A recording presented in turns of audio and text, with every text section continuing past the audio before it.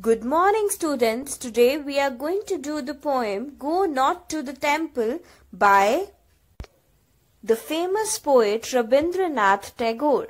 Rabindranath Tagore is one of the India's greatest poets. He is the composer of Indian national anthem. His works are loved for the lyrical beauty and spiritual depth, reflecting love for nature and his homeland. He received the Nobel Prize in Literature in 1913 for his collection of poems Gitanjali. So the objective of this video is that by the end of the poem you will be able to understand the meanings of the difficult words in the context of the poem and explain the poem in your own words. So let's start with a summary of the poem Go Not to the Temple.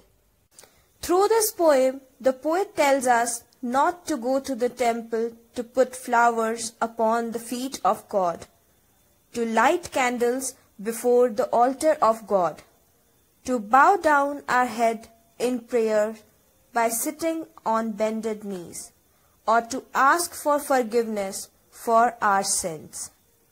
He tells us that first we should fill our own house with the fragrance of love remove the darkness of sin from our heart.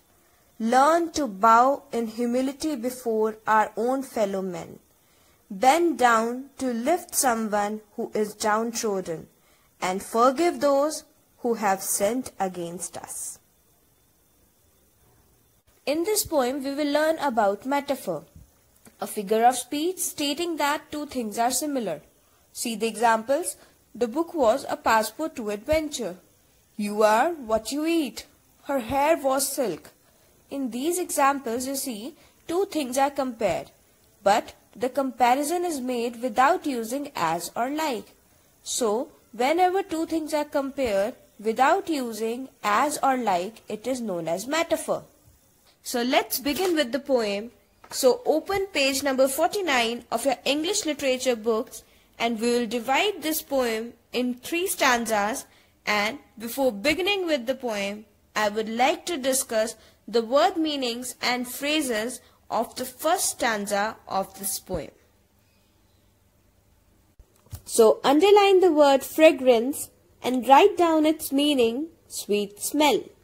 Then coming on phrases, in the first line, underline to put flowers upon the feet of God and write down Bhagwan ke charno mein phool rakhna.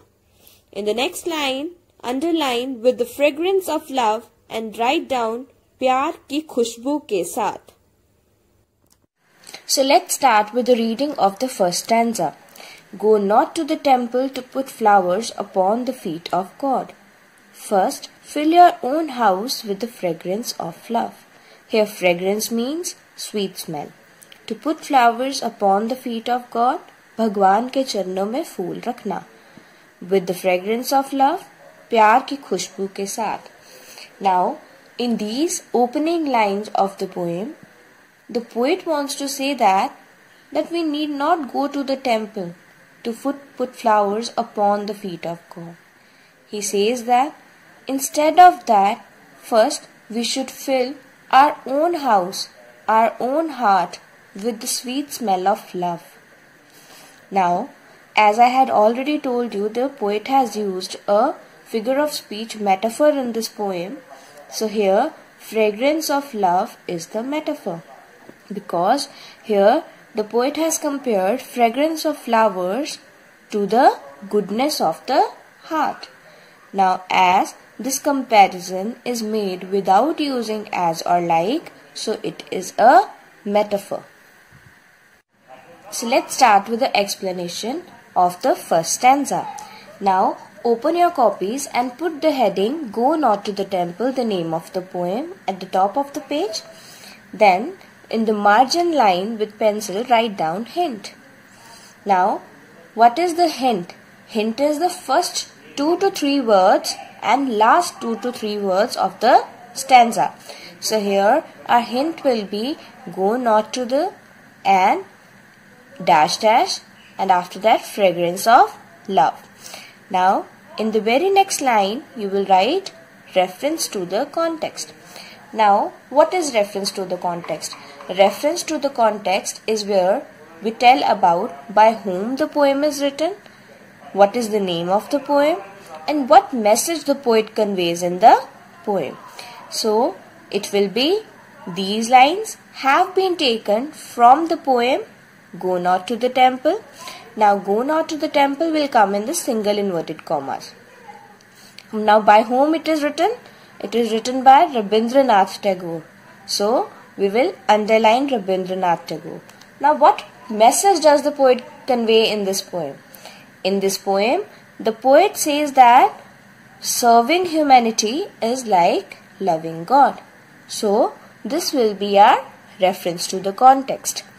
Now, in the very next line, you will write the heading explanation from the margin line only. Now, what is the explanation? In these lines of the poem, the poet says that we need not put flowers upon the feet of God.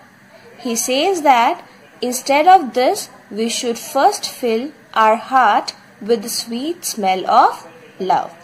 In this way, we will do a reference to the context and explanation on copy. I hope you understood this summary, reference to context, and the explanation of the first stanza. Now, I want you to read the poem again and again for better understanding. Thank you.